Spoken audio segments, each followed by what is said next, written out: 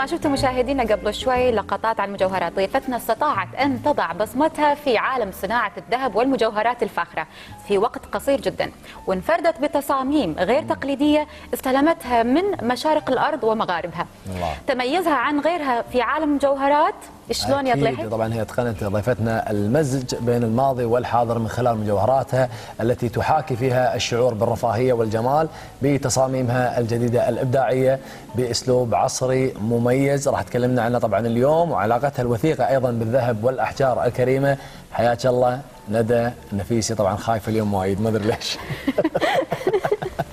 حياك الله. حياك الله بليالي الكويت ندى وطبعا ما شاء الله. قاعد نشوف التصاميم ومختاره الألوان الثلاثة الذهب الأصفر والوردي وأيضا الأبيض.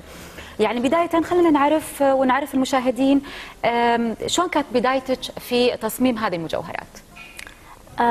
بسم الله الرحمن الرحيم. أول شيء أحب أشكركم على استضافتكم حقي وأنكم أعطيتوني الفرصة أن ال- الناس تعرف شنو NWN Art آه، NWN Designs والجولري. أم، بدايتي الرسمية كانت 2012 طبعا قبلها كنت أصمم بس حقي حق الناس المقربين حقي. بس البداية الرسمية كانت سنة 2012 اللي هي صممت مجوهرات مختومة باللوجو مالي. okay.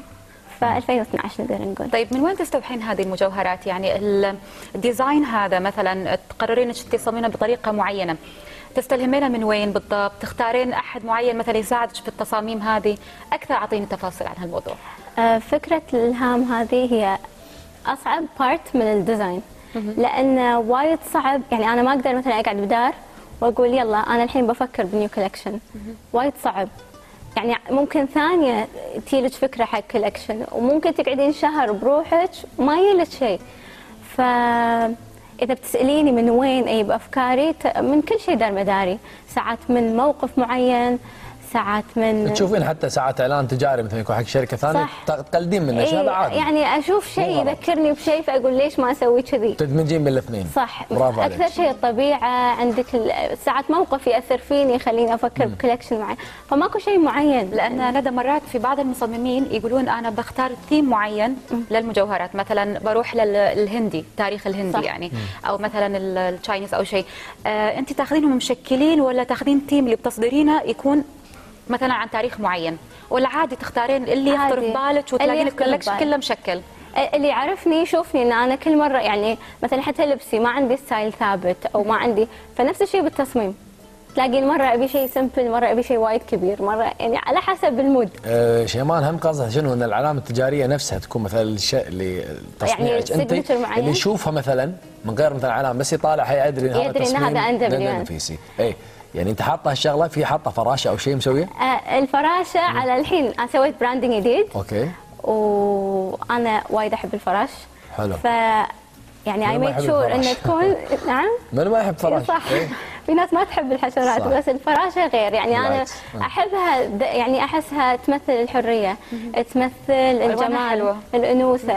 فلما سويت branding جديد آه، حق العلب مالتي وقلت إلا أبي يكون فيها فراشه لأنها تمثلني. حلو.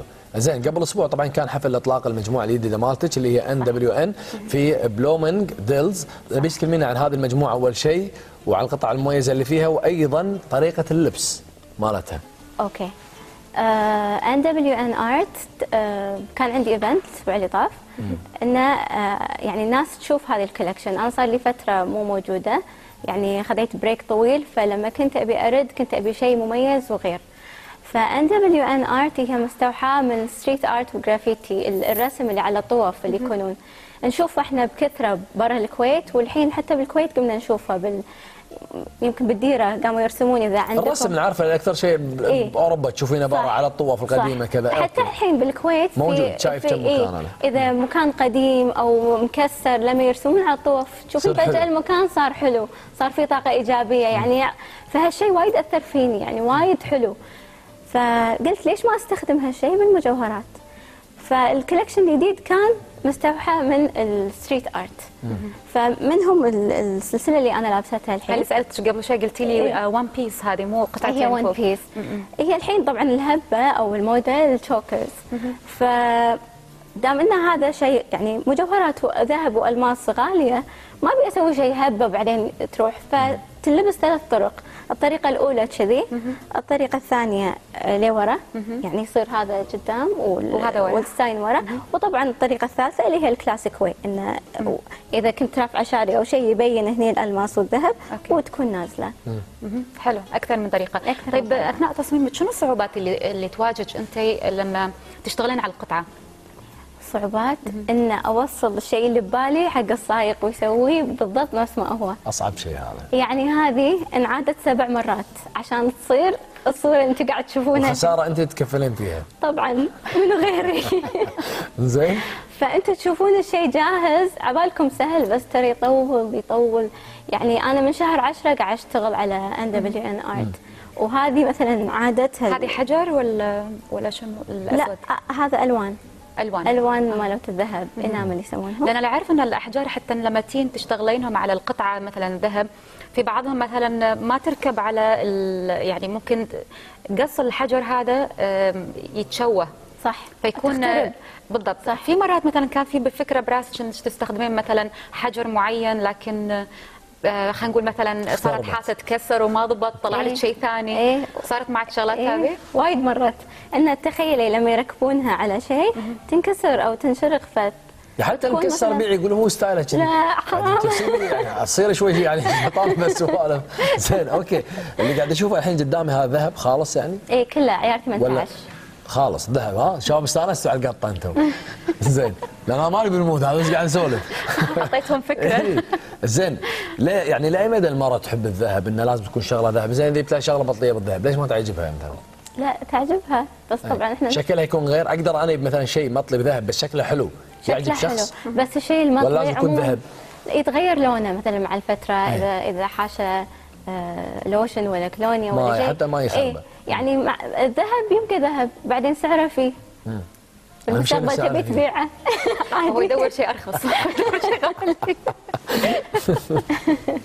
كلمينا عن الافتتاح اللي صار وشلون كان الإقبال على المجوهرات وشنو ال comments أو ال- التعليقات اللي جاتك من ال من ال اللي حضروا الافتتاح هذا؟ الحمد لله.